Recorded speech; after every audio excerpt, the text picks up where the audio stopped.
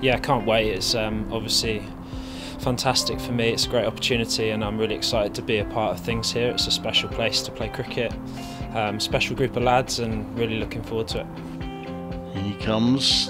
And that one, though, he's got hold of, but he's played it to a fielder and it's caught by Sam Hain, who makes sure he stays inside the boundary. Yeah, I think it's just um, exciting to be involved fully with, with a county and to really invest in that county. Um, I'm looking forward to playing all formats hopefully. Um, obviously I know I've played T20 predominantly but I'll be looking to develop all areas of my game and trying to add where I can.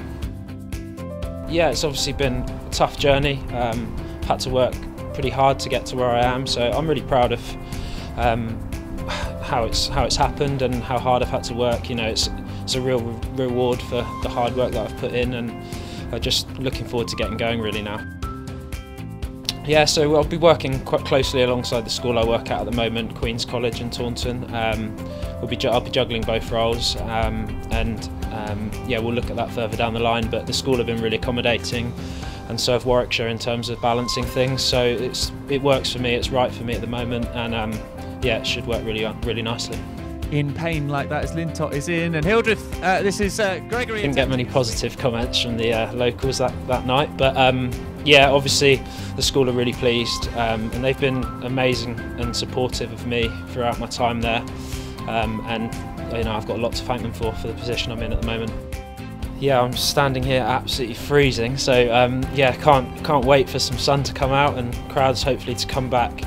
Um, I know last year I certainly missed playing in front of people and we as a group can't wait to have everyone back so it should be a really exciting summer.